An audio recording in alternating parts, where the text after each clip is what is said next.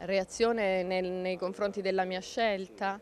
Eh, guardi, io ho ricevuto dei messaggi in cui mh, c'erano alcune parole che mi sembrava volessero tutelare la mia persona, nel senso che dicevano lo fare, tutti diranno che lo fai per la poltrona, anche se io la poltrona ce l'avevo anche comoda, visto che dovevo solo obbedire a degli ordini, alzare e abbassare la mano quando era necessario.